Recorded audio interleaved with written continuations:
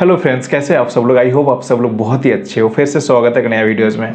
बहुत सारे लोग व्हाट्सअप करके या कमेंट करके पूछ रहे हैं कि what is the latest state wise guidelines for travel it means अगर आप ट्रैवल करने जा रहे हो बाई फ़्लाइट या किसी भी तरह से फॉर एग्ज़ाम्पल अगर आप दिल्ली से मुंबई जा रहे हो, दिल्ली से कोलकाता जा रहे हो, या any state of the India या आउट ऑफ़ इंडिया भी जा रहे हो तो क्या गाइडलाइंस से क्या है क्या आपको नेगेटिव रिपोर्ट लेके जाने पड़ेगा? Just because of this pandemic situation her state का अलग अलग गाइडलाइंस है और सबसे बड़ी बात है almost every week there is a new guidelines तो वेरी डिफ़िकल्ट टू ट्रैक की what is the latest guidelines अगर आप कहीं ट्रैवल करने जा रहे हो तो मैं तो आप लोगों को रिकमेंड करूँगा before travelling you should know कि क्या गाइडलाइंस क्या है उस स्टेट का, क्या आपको नेगेटिव रिपोर्ट लेके जाना ज़रूरी है कि नहीं? That is called artificial test वो आर्टिफिशियल टेस्ट अगर लेके जाना भी है, वो कितना पुराना चलेगा?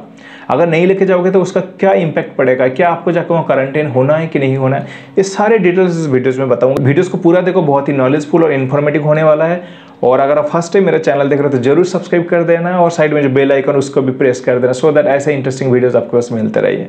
चलिए वीडियोस को स्टार्ट करते हैं। अपना रिकॉर्डिंग ऑन करने के बाद मैंने सबसे पहले एक वेबसाइट्स में आ जाएगी जैसे जनरली ये जनरली गो एयर का वेबसाइट है, इसका लिंक मैं डिस्क्रिप्शन में दे दूँगा। इसमें स्टेट वाइज और इंटरनेशनल वाइज सबके सब इसमें लेटेस्ट गाइडलाइंस है। क्योंकि क्या होता है कि अगर मैं आपको बता दिया कि अगर आप दिल्ली से मुंबई जा रहे हो कि हाँ ठीक है, आपको आर टेस्ट रिपोर्ट लेके जाना ज़रूरी है, लेकिन दो दिन के बाद हो सकता है कि वो वो चेंज हो सकता है। सो इससे पहले फॉर एग्ज़ाम्पल अगर आप मुंबई से कोलकाता जा रहे हो तो आपको कोविड रिपोर्ट लेके जाना हंड्रेड परसेंट मैंडेटरी होगा। अदरवाइज़ आपको वहाँ क्वारंटाइन करेगा उन लोग और टेस्ट भी करवाएगा। और जो क्वारंटाइन होगा that will be cost by you आपको ही पे करना पड़ेगा। और ये जो टेस्ट रिपोर्ट होगा, हो सकता है मैं वीडियो अपलोड करने के बाद फिर वेस्ट बंगाल गवर्नमेंट ने कुछ और रूल्स एंड रेगुलेशन अप्लाई कर दिया तो वो कैसे पता चलेगा? बिकॉज़ वीडियोस तो मैंने बहुत पहले ही अपलोड कर दिया, जो भी current situation current rules and regulation तो इसीलिए क्या होगा, इस वेबसाइट में आके आपको हर स्टेट का, जिस स्टेट आप जाना चाहते हो, वहाँ का आपको चेक कर लेना चाहिए। कैसे होगा, मैं आपको दिखाता हूँ। जैसे आप इस वेबसाइट में आओगे आपको सब कुछ दिख जाएगा। स्टेट वाइज ट्रैवल गाइडलाइंस क्या है? नहीं है। इंटरनेशनल भी है और डोमेस्टिक भी है। Domestic it mean state wise कि आप अगर विद इन इंडिया अगर ट्रैवल करोगे तो क्या रूल्स एंड रेगुलेशन एग्ज़ाम्पल आपको दो चार स्टेट का दिखा देता हूँ वेस्ट बंगाल के लिए। आप ओरिजिन और डेस्टिनेशन का मतलब समझो। ओरिजिन का मतलब आप जहाँ से जा रहे हो और डेस्टिनेशन मतलब जहाँ पहुँच रहे हो। फॉर एग्जांपल आपके फ़्लाइट दिल्ली से कोलकाता। इट मीन्स आपके origin is Delhi and destination is Kolkata. So आपको जो रूल्स एंड रेगुलेशन फॉलो करने पड़ेगा दैट इज़ ऑन कोलकाता का वेस्ट बंगाल नॉट इन दिल्ली का। तो फॉर जैसे यहाँ पे मैं अगर चेक करूँगा वेस्ट बंगाल का वेस्ट बंगाल का क्या है? हेल्थ स्क्रीनिंग हेल्थ स्क्रीनिंग क्या है? Thermal screening shall be done all passengers जो कि, जो टेम्परेचर वगैरह चेक किया जाता है किसी भी एयरपोर्ट में या किसी भी जगह में, ये नॉर्मल है, हर जगह में होता। है इसके अलावा जो मेन चीज़ आपको दिखाना चाहता हूँ लिखा है all passengers coming to West Bengal जो भी पैसेंजर्स मतलब सारे के सारे पैसेंजर जो वेस्ट बंगाल आ रहे हैं, उसको मैंडेटरी है। क्या मैंडेटरी है? To COVID report negative report or RTPCR जो रिपोर्ट होता है, वो कितना पुराना होना चाहिए? 72 आवर्स ऑफ़ फ़्लाइट डिपार्चर मतलब फ़्लाइट डिपार्चर होने से बहत्तर घंटे के अंदर अंदर वो रिपोर्ट आपका होना चाहिए। इसका पूरा, इससे पुराना अगर रिपोर्ट होगा तो एक्सेप्टेबल नहीं होगा। उसके बाद नेक्स्ट स्टेप देखो, कितना इंपॉर्टेंट चीज़ लिखा है। अगर कोई पैसेंजर्स पकड़ा जाता है कि विदाउट आर्टिफिशियल टेस्ट देन ही और she shall be send 14 days paid quarantine मतलब पेड पेड क्वारंटाइन में उसको भेजा जाएगा उसका जो कॉस्ट होगा वो आपको ही वियर करने पड़ेगा। इट मीन्स आपके जितने भी ये कॉस्ट होगा, आप ही वियर करोगे, अगर आप रिपोर्ट लेके नहीं जाओगे। इसमें कौन कौन एक्सक्लूड है? एग्जामटेड है लिखा हुआ जैसे कोई फ़्लाइट क्रू मेंबर्स हो गया चिल्ड्रंस हो गया जिसका age less than two years so this kind of rules and regulation for West Bengal अगर मैं किसी और का अगर दिखाऊँ let's take an example of Orissa Orissa का दिखा देता हूँ आपको। उड़ीसा का भी सेम है, आपको हेल्थ स्क्रीनिंग करना होगा और फिर क्वारंटाइन का all passengers all arriving passenger to produce RTPCR negative report लेके आने पड़ेगा। यहाँ पे भी सेम है। और undergo mandatory R test ये वहाँ पे एक नॉर्मल सा टेस्ट होता है एयरपोर्ट में जस्ट जब एग्जिट करोगे तो ये आपको करने पड़ेगा। This is not a big deal और ठीक है? ये सब आप देख लेना। और यहाँ पे एक चीज़ आप देखो, वहाँ पे वेस्ट बंगाल के लिए था 72 आवर्स पहले का, लेकिन यहाँ पे क्या है 48 hours prior to arrival Bhubaneswar.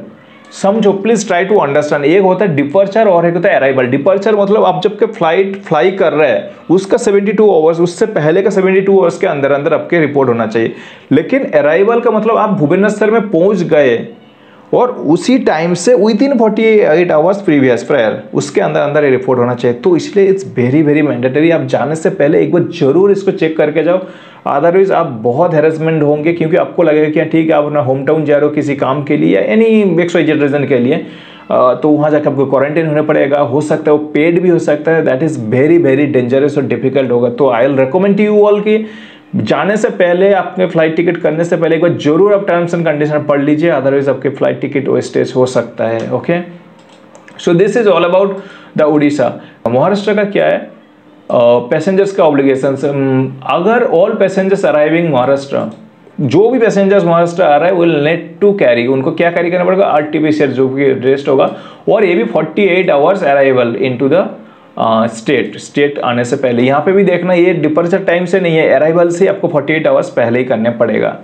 तो इस सारे चीज़ आपको यहाँ अच्छे से दे रखा है। आप एक एक करके चेक करो और उसके बाद ही आप अपना फ्लाई करो।